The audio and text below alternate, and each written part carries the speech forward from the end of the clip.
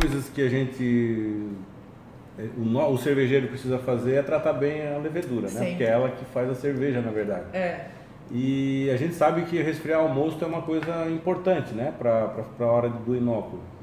É, só que a gente sabe que nem sempre a gente consegue reduzir naquela temperatura ideal de inóculo. Tem muita gente que, inclusive eu fazia isso, é, de fazer resfriar o mosto no que dava, porque a água da rua é, vem quente, né? Uns 28 graus, inoculava e depois deixava na geladeira para resfriar.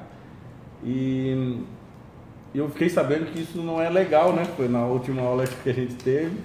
Então eu gostaria de falar um pouquinho para o pessoal aí de casa para falar que essa não, que, sobre essa técnica, se é, é, legal ou não, e se tem alguma outra alternativa melhor para a gente que é caseiro com pouco recurso aí de resfriamento para para fazer uma boa cerveja. É, inocular levedura em altas temperaturas, principalmente quando a gente trabalha com levedura líquida, é um problema porque você vai inocular a levedura numa temperatura mais alta, ela vai iniciar sua multiplicação celular, ela vai iniciar aquela fase lag onde todo mundo fica olhando assim, não está acontecendo nada não dentro desse fermentador.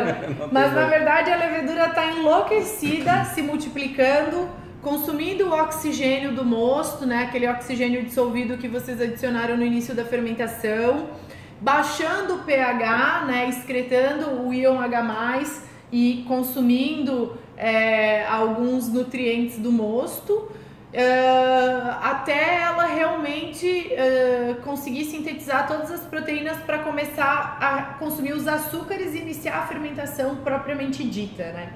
Então, nesse momento, a levedura inicia o seu metabolismo numa temperatura mais alta. Isso faz com que ela ganhe uma velocidade né, de trabalho e depois a temperatura vai caindo, vai caindo, e o metabolismo da levedura vai caindo junto com a levedura. Então você starta ela numa determinada velocidade e depois você puxa o, puxa freio. o freio. E aí ela dá aquele baque e depois ela tem que reestabelecer o metabolismo dela de novo naquela temperatura. Então, é, é, é, de certa forma, ele é, ele é prejudicial para a velocidade da fermentação, né? Lembrando que variações de temperatura são extremamente prejudiciais para a levedura, então a galera aí que fermenta... Qual que é, quantos graus ela já sofre? 2 graus para cima, 2 graus para baixo, tá? Então, uh, variações de temperatura para quem fermenta a temperatura ambiente é, quer fermentar a temperatura ambiente? Legal, mas tenta colocar num local onde não tenha variações muito grandes de temperatura durante o dia, porque isso vai diminuir a capacidade fermentativa da levedura, vai gerar um estresse, né? Pode levar a paradas de fermentações, perdas da capacidade de floculação, então é, ele é bem negativo para a levedura, né? E aí, quando a gente fala de levedura líquida que já está estartada, está viável, digamos, cai Feliz matando vida, no né? mosto, né? A 28 graus ela já vai começar a produzir algumas coisas ali indesejáveis, né?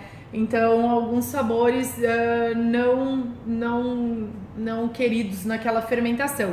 É, eu tenho visto aí algumas pessoas que têm feito inóculo das leveduras à temperatura ambiente, agora em Floripa tá um bocadinho quente, e a fase lag foram 3 horas, ou seja, depois que inoculou a levedura, em 3 horas já estava tá saindo bolinha do airlock. E em 3 horas o mosto não resfriou de 28 para 18 graus. Então, é, com certeza essa fermentação vai ter sabores que é, vão lembrar a ésteres ou com é, um, muito mais negativo álcool superior ou acetaldeído, né?